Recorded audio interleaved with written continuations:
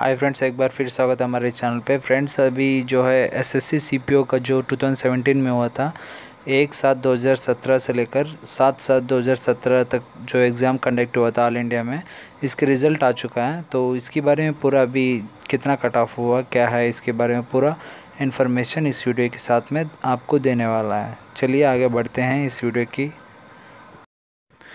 इसकी cut off अगर हम लोग देखा जाएगा तो मेल कैंडिडेट्स के सबसे पहले तो बहुत ज़्यादा हुआ। आज तक जो है, इतना ज़्यादा कभी नहीं हुआ था कि मेल कैंडिडेट्स की सबसे पहले अनरिजर्व कैंडिडेट्स का देखते हैं 117.25 है। उसके बाद में ओ बी सी का देखते हैं वन नॉट टू और एस सी का जो है 90.25 और एस टी के लिए 90 मार्क्स जो है, कट ऑफ़ निकला हुआ है और एक्स सर्विसमैन के लिए 43 है। तो टोटल जो है forty six thousand eight hundred and sixty four candidate जो है सेलेक्ट हुआ है। और अभी देखते हैं फ़ीमेल कैंडिडेट्स का। फ़ीमेल कैंडिडेट्स की भी वही हाल है। पहले इतना कट ऑफ़ कभी नहीं गया था। तो सबसे पहले अनरिजर्व कैंडिडेट्स की हम लोग देखेंगे।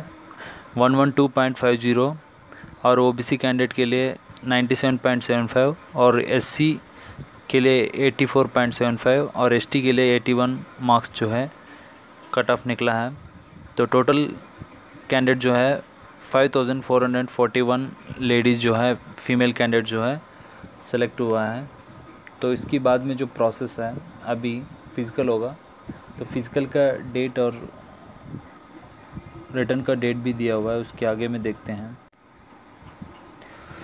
जैसा कि इसमें दिया है पेपर टू कब एग्ज़ाम होगा, कि पंद्रह बारह टू थाउज़ेंड सेवेंटीन यानी दिसंबर में एग्ज़ाम होगा इससे पहले जो है पीटी होगा और ये सितंबर में चालू हो जाएगा, बता रहा है। देखते हैं सितंबर में होता है कि उसके अगले मंथ होता है। तो इसमें जो है, अभी जो भी बंदा जो है कट ऑफ़ में आया हुआ है तो वो ज़रूर से ज़रूर जो है फ़िज़िकल और इंग्लिश पेपर टू के लिए बढ़िया से पढ़ाई कीजिए और तैयारी भी अच्छे से कीजिए। डिस्क्रिप्शन में मैं दिया हूँ, कुछ लिंक्स दिया हूँ, जिससे आप इंग्लिश बुक्स अच्छे से अच्छा बुक्स खरीद सकें और प्रैक्टिस कर सकें।